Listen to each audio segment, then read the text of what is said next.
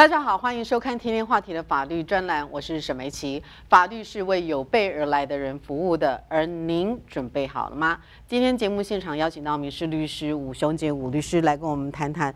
我们今天本来是要谈这个呃租租客的问题纠纷啊，因为这主要是来于我们来自于我们第一女婿库许娜的一些物业。跟租客发生了纠纷，但是呢，节目一开始我们要谈谈最新的这个消息，就是昨天晚上呢，在拉斯维加斯呢的这个音乐节上面呢，呃，发生了大屠杀。目前我们知道已经有五十八人死亡，五百一十五人受伤啊。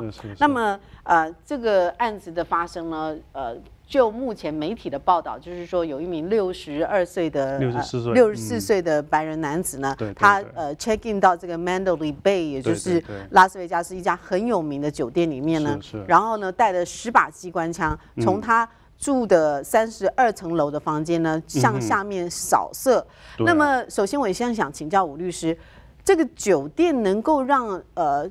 租客呃入住客呃带十几把的这个机关枪进去入住，难道酒店没有责任吗？所以呢，这个东西啊，但现在一切还是在这个侦侦查的阶段。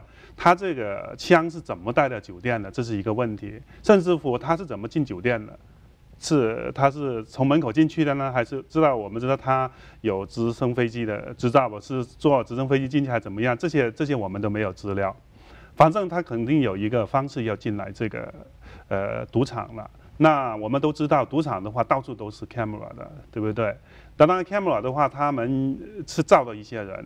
那这个就要看哦，这个赌场呢，就是说，呃，有没有留意到他这个人很奇怪？那比如说他去 check in 的时候，因为他住了好几天了啊，他星期四就进去了吧，对吧？四五六，呃，天，那差不多三个晚上、四个晚上的样子。那他这个枪是一次性就带进去的呢，还是分次？这个也不知道。对不对？如果说他是一次带进去的，那他是这放在他行李箱里面呢，还是说就这样背着呢，手上提着呢，还怎么样？对不对？或者他放进去装着这个东西，到底呢是呃，比如说是一个枪套子这样套着的，一看起来就像枪子呢，还是说你也看不出来？他可能是放了一个，比如说一个一个吉他的一个东西，一个盒子里面，对吧？有时候你也不不会留意它到底里面，没想到它里面是放枪的，是不是这种情况？现在都都不清楚。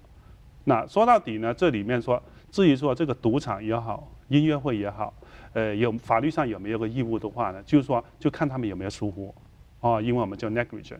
那这个疏忽呢，就是说一般的人的情况下呢，看到那种情况，可能会进一步要去问了。比如说，对他一次过，就在这十十几把枪全部一次过都来，然后手上又拽着这那，又或者是背上，一看呢就很奇怪的，觉得这个人，像这种情况下，那你就有义务要去问问，哎，到底你这个是里里面是放了什么东西？但是如果说他当时没有明显的迹象，东西都放在行李箱，比如带两个大行行李箱，这很正常啊，人在那边去住，对不对？而且他住几天。带行李箱，嗯，你能？那你可能就没有办法能知道它里面可能是带了枪这样，嗯。那这个音乐节的主办单位就应该民事责任相对比较小一点，因为他的枪是从上面打下来的，那又不是在地面上音乐节发生的这个举行的场地嘛，对，所以音乐节的这个。主主办单位还有他们保安是不是就可以逃过民事对他，他应该就是可以说更，呃，离这个责任可能更远一点了，或者说你让他负责的话，这个几几率就可能会更低了。对，大家没想到的嘛，对，这个飞来横祸的东西，对，主办单位你你不可能，你要说，呃，你在举行个音乐会的时候，那些人没有疏疏散好，对不对？或者有什么事情，那人人踩人什么，哎，这个可能你是这个主办单位那里面的安排不好。但你这个是从外面枪打进来，哎，可是他枪打下来之后，我有看那个影片，这个人他不是一直扫射，他中间有停一段时间，然后再继续扫呃扫射。那那个时候人已经乱成一团了。那像这种情况之下，其实呃音乐节主办单位他应该把疏散的地点、逃生门口，他如果在这方面他没有做好万全的准备的话，他会被告这个可能就是他的责任。不管说有，如果说在那个这个东西发生之前。比如说你这个场地对安全，对吧？你要 make sure，呃，因为人多的时候的话呢，呃，会发生一些意外或者一些呃一些骚动啊，或者人到处跑的情况是经常有的。所以的话呢，它有没有足够的疏散的渠道啊，对不对？或者或者一些 sign 告诉人说，如果有什么紧急通道了，我怎么样往哪走，这是一个，对吧？这个是就是说之前就要安排好的东西。然后的话，它还有一个说，呃，万一这种事情发生的时候，它这个主办单位怎么去处理？在当时处理的时候，呃，有没有有没有尽到他的责任，有没有疏忽，这也是一个一个一个地方。这些东西的话，我们都没有呃足够的呃这个情况来来判定。现在来说，嗯，但是大体上来说，呃，一旦发生这样子的意外事件的时候，他的民事责任其实是可以呃，就是先初步先厘清，对对？你可以提。那再一个呢，像那个那我们说回到酒店，那他住几天的话，那。当然，我们现在也没有资料，到底他有没有要求人说来清理房间呢？对吧？一般人住的话，每天清理房间，也有一些人住可能两三天，他就啊，你不要来清理了，反正我我不介意，或者觉得你来他还担心你把他东西弄乱了什么的，对不对？那如果说有人进去清理的时候，当然你清理的话，你也不能翻住户的东西，但是如果他的东西有时候就放的，呃，在外面，你你这样去清理的时候，就这样就能看到了，比如说，哎，就看到这个枪头或者子弹在里面的话。如果就看到的话，那他们就应该要去报告，对不对？所以这些东西的话，我们也不知道有没有这种情况。机关枪大概不太容易藏吧？我 不知道啊。Again，那至于说他的枪是不是一带进去的时候是都装好的呢，或者还是拆了呢？对吧？那资料显示说他有些枪是他改装了，对不对？那可能他会，虽然他不也不是专业，没有当过兵或怎么样，他本身是一个退休的的的会计吧？哈，那他他是不是把这个枪都都都拆散了？对不对？这个我们也没有资料。嗯嗯。那另外呃，我想提到这个赔偿的部分呢。嗯。呃，现在这些死伤者呢，他们可以向谁要求赔偿呢？对，那赔偿的对象一般来说，那这个谋杀者，对不对？肯定没有问题了。他他人死了，那他还有遗产的，对不对？可以找他的遗产。当然，除非他证明他是真的是呃神智有问题，如果在当时的话，但现在这个这个也不知道。哦，如果他神智有问题的，那就很讨厌了。你不知道那是民事上面他可能没责任，哇，听起来这个 不可非议。但是法律的角度来说就是这样，他连刑事上可能都没有责任。如果他真被证明了他神经有问题的话，因为这个就没有行为不过他已经死了。是啊，但是。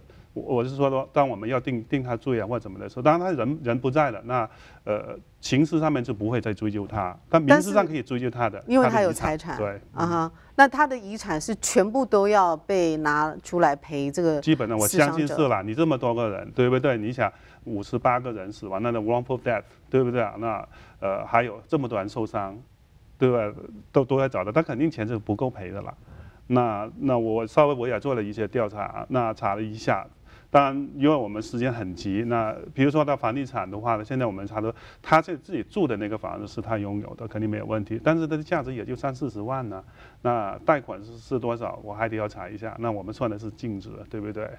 那至于说房子，嗯，这是一个。那当然记录上面显示显示出来，他总共有有大概有二十三个房地产，一个记录。至于他是不是拥有二十三个房地产，我们不知道。那他的他的 brother。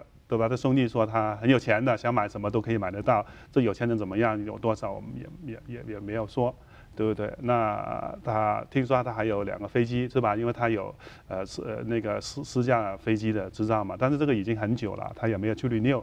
他现在应该是不合法的。如果他要开飞机，应该是不合法。但是他他如果他的飞机啊，像其他的车子啊，什么这银行存款的这些的话，他收入肯定没有，他退休了嘛。那这些的话都是可以拿来拿来还债的。那吴律师，我想请教你，如果他有子女的话呢？子女可以？那子女不用负责，那不用负责。不用负责，但是子女会说这个钱本来是要留给我们的，那现在要全部拿去还给？没有，那他先付了债主啊。啊，你遗产的话就是这样的，如果有债主的，先付了债主，有剩了才给他的，呃，遗族的或者他的继承人呢，啊，那我对。哦，OK，所以就是说，其实他如果说他有这个遗产的继承人，现阶段你也不要什么都别想了啦，就是你要把这个给三场伤场者的这个赔偿金先赔出去，你才能够谈到。不过。死了五十八人，我估计能够留下来的遗产大概也不多。一个的话，他就不够赔了，别说五十八个。是啊，而且生命是无价的，你再怎么有钱也是换不回亲人。所以啊，我想这个部分我们真的要继续为大家关注，因为在美国的这个民事法、刑事法其实都是这个相就是 entwined together 的。对。所以呢，说到索赔这些东西，除了他的话，那我相信啊，呃，我相信。呃，接下来的话，应该会有不管是死者的家属或者受伤的人的话呢，他们可能也会呃。都提出这种民事的诉讼，呃，他们甚至可能会把 m a n d a y 被这个赌场告进去，或者甚至把这个主办单位也告进去，因为毕竟这么大一个事情，呃，一脑除呃有时候反正他们先试下嘛，啊，对不对？如果他觉得有出乎的话，那赌场或者主办单位那边的话，至于说他们就算说法律上没有责任的话，他们会不会就拿点钱出来，就为了表示同情也好，或者 you know 嗯呃去把这个官司买掉也好，这个也也也很有可能。嗯，好的，好，那广告的时间已经到了，我们先进一下广告。广告回来之后，我们再请教那个呃吴律师有关于这个房屋哦租客之间纠纷的问题。广告后见。好了。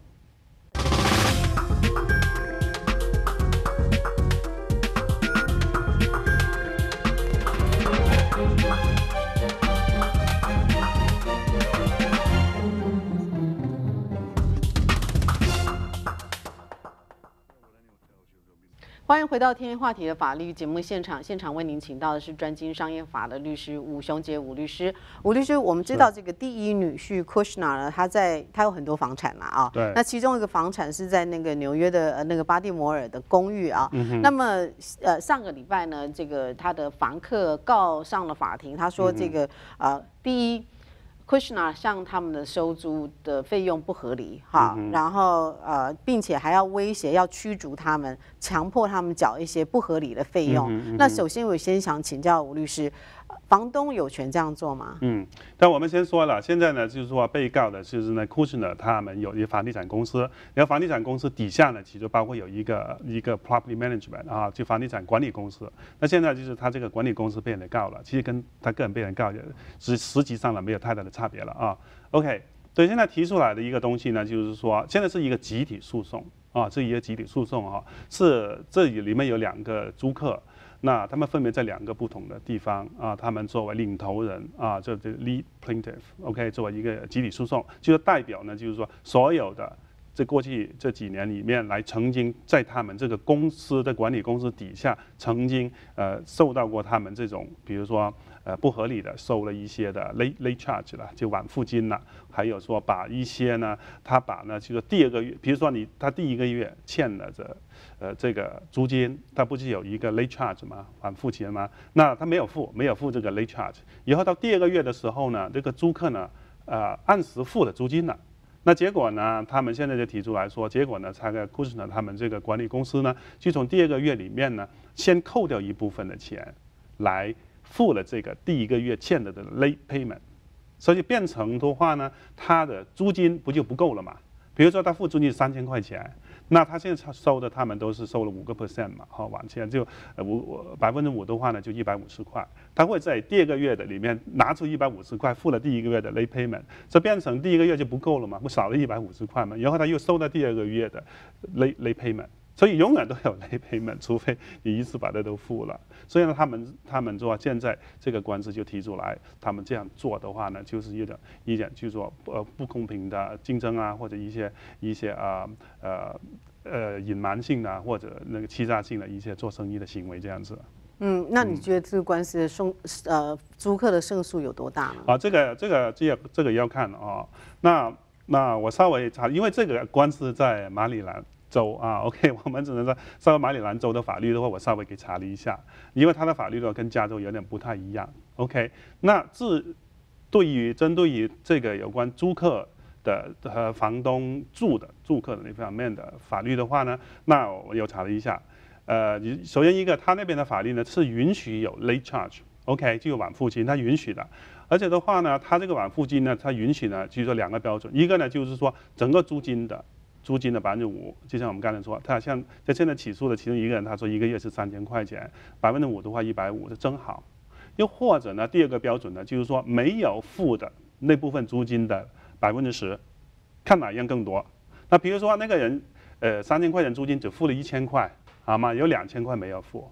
他两千块没有付的话呢，他可以选择，那我收两千块的百分之十，那就两百块，因为这个 late charge 就多一点。所以那个法律是允许这样的，一的随随便一个标准，好吧？所以我们明白了啊，那他 k u s n e r 他们公司收 late charge 是可以的，如果他的租金晚的话。那现在呢，就是说他们提出来另外一个东西，说你能不能在第二个月的时候，对不对？把这个付的租金扣掉来顶了这个前一个月的 late charge。那我是没有找到这个法律说禁止这样做，OK？那如果说他的法律呢，就是说。呃，不给这样做的，那你肯定就不能做。OK，所以是看法律怎么解释。对，看的法律是怎么样。对，那按照我们加州来说，那就不允许，啊，加州是不允许你这样做。OK，所以有这样就 confuse 哈。那这种我们说的是住房子的时候，房东不允许他这样做。但是有时候我们比如说，呃，有些买自己住的一个房子去供房子的时候。你会发现，比如说你这个月的公房，比如说你的你的房贷是呃两千五百块钱，你你少付了这个钱，下一个月你付钱的时候，那个公司是可以拿你那个钱，你第二第二个月，比如你还是付两千五进去的话，他就拿掉那个钱来付你这边欠了的钱，或者有 late charge 啦或者什么的，哦，那个是房贷的钱，他可以这样做在加州，但是的话呢，在加州来说，你住的房子的话，他就不允许你房东这样来做。就说你你这个月晚了，那你你要收这个月。那我们等会可以说加州的啊，至于说它有关那个 late charge 这个还有特别的规定，OK，不见不见得基本上是还是不行的，在加州还不允许。那就算你可以收，比如说你你收利息啊什么的也好，你不能在第二个月的租金的里面来扣。那马里兰那边的法律是怎么个规定？要根据这个法律来。如果法律说允许的，那就可以；如果不允许的，就不可以。但是呢，就算说他允许，法律允许的话，他得要必须在他的租约里面说他可以这样做，才能可以这样做。当然，我们我也没有机会看到他的租约，但我相信呢，租约里面像一般的情况下，他这么大的房地产管理公司，他们准备的租约应该有写，他们有权利可以这样做这样。但如果法律不允许的话，就算他租约写了的也不行的，啊。那它里面还有讲到说什么驱逐威胁？这个驱逐威胁在美国应我。所我的理解啦，您是专家，是好像是违法的行为，是不是？呃，那我我，他们这些人是这样说了，他他他他的意思呢，就是说啊，来告诉他说，那你不付这个钱的话，我们就赶你走了。那这个严严格来说不算什么威胁了，这个也是他的作为房东是有这个权利。如果你你你违反了租约的话，包括你该付租金不付或者 late charge 晚的时候，你是可以让你走的啊，不管你在马里兰也好，在加州也好。对不对？当当当然按程序，但是要经过法律程序，是是，所以程序。对，这可是这个法律程序其实是相当的费时费事的。所以在加州，你要赶一个呃不付房租的房客出去，是没有像你们想象的，没有像那个很多人想象的这么简单哦。呃，他是这样，这些赶赶房客这个，不管是你住的也好，或者商业的好，他法律是给他一个特别快的程序的已经。OK，相对于其他的一般的民事案件来说，那他需要做的，比如说你租金没有付。好吧，那甚至有时候呢，就比如这个这个租客了，或者这个房客，呃，该做的一些东西，或者他没有去做，比如说他答应了进去的话，哦，他要剪草了，或者说什么东西要帮他修一个什么东西，对吧？这是那个租约的一个部分，他没去做，或者呢，他经常呃开开 party 啊，开到半夜或者做什么东西影响邻居的话，那然后房东可以发一个三天的通知，啊，如果租金没付的话，可以叫他一个三天的通知的 pay rent or quit，说你三天以内把。这包括 week weekend 哦，啊，你不能说啊，你三天我星期五发出去啊，那我这一礼拜三的 no 不是，OK，那你礼拜礼拜一就到期了啊，周末也算的，的话呢，嗯，你就要付这个租金，要不然就搬走，啊，或者呢，如果他该做你的东西，或者呃，就要在禁止，比较影响别人开 party，叫你不能再开 party 的话，他三年以内也得要停止，那不停止的话，也也也也要也要搬走，如果他又不搬走的话呢？这个房东就可以到法院去 file 一个 lawsuit 了，叫英文叫 unlawful detainer，或者叫 eviction，就是驱赶房客的意思。嗯，那你 file 之后到可以把这个请神容易送神难的这尊神送走，还有多长时间？啊，这个程序是这样子啊，我说了在加州啊，马里兰多久我不清楚，我相信他应该也有个特快的程序，因为我知道他们也是发三天的通知。OK，那我们加州的话呢，他东西给了他都只有五天的时间，五天以内那个这个租客的话就要来答辩了，看他答辩是什么样。那我们看到呢，绝大多数像住宅来说，租客他就不不答辩了。你的不答辩的话，缺席判决，啊，那商商业的话呢，有时候答辩，有时候不答辩，我可以看他的是是怎么样的情况，好吗？那如果说他不答辩了，马上就缺席，那然后的话呢，房东可以拿一个缺席判决书，有了判决书的话呢，他可以就叫警察来赶他走，因为警察会根据这个判决书来叫他走。